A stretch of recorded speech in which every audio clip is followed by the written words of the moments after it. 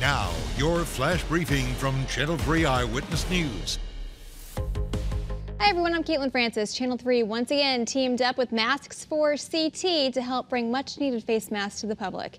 The fourth free mask giveaway got underway at the Torrington Middle School. Cars were lined up well before 6 o'clock this morning. The mask supply ran out by 11. Another event is being planned in Middletown for this Thursday.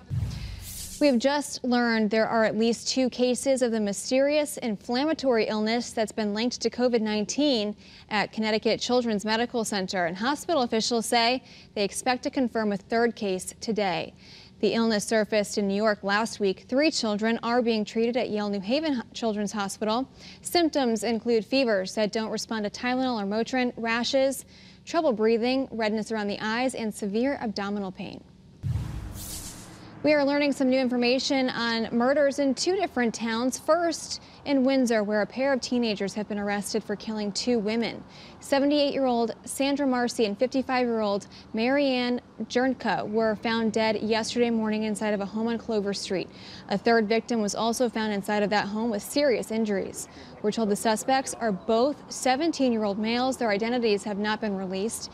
Channel 3's Sharon Johnson will have the latest on this investigation ahead at 430. All right, and weather-wise this afternoon, it's going to be cool and breezy with a mostly sunny sky. Temperatures top out in the mid and upper 50s. Tonight, as the wind subsides, we could dip into the low and mid 30s, close to record levels to start our Wednesday. Tomorrow, we rebound to near 60 with a lot of sunshine. Then on Thursday, clouds increase late in the day. Highs that will be warmer into the mid and upper 60s. Then for Friday, we'll head into the mid and upper 70s. And there's a chance for some morning showers on Friday with a warm front, followed by a chance for late day thunderstorms as a cold front moves through. The upcoming weekend looks pretty nice right now. For Saturday, we should see a partly to mostly sunny sky. It will be dry with highs still in the mid 70s inland and along the shoreline. Then on Sunday, as another storm system moves in, we'll see the chance for some scattered showers. A little bit cooler than Saturday.